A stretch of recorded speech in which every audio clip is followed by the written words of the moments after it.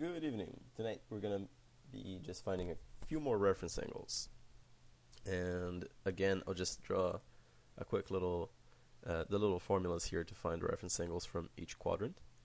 And here I have 180 minus x, 180 degrees minus x. Oops, that's it. Here. Uh, here we have x minus 180 degrees, x being the, the angle, of course, on the third quadrant. And if we have um, something on the fourth quadrant, we can use 360 degrees minus x. Okay, so 150 degrees. That's on the second quadrant. So we can use this little formula. And 150 is x. So 180 minus 150 is 30 degrees. That's it.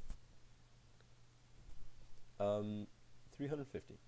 That's on the fourth quadrant, so I'm going to use this formula. So 360 degrees minus 315. 45 degrees.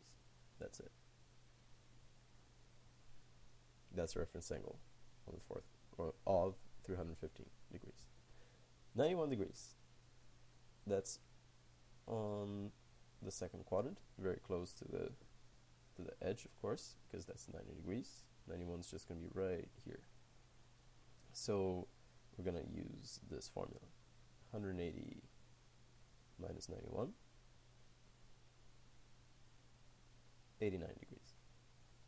That's the reference angle. Hmm, interesting, eh? Pretty close. Okay, then 269. That's on the third quadrant, very close to 270 degrees right here, of course. It's one degree away, and we're going to use this formula. So 269 degrees minus 180, also 89 degrees. Excellent. So we have all these reference angles here. Hopefully that made excellent sense. And again, thank you for watching. And if you would like to see more videos, you can go right here. Thank you.